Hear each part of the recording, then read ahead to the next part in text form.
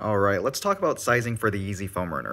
I'm a size 10 and a half, and since they don't offer any half sizes, I opted to go down half a size to a size 10. My toes don't feel cramped in the toe box area, but more importantly, I don't experience any heel slippage when walking. So my advice for anyone else who may be a half sizer is to go half a size down. And for those wide footers who may be worried about feeling cramped on the toe box area, just know that the upper is very forgiving.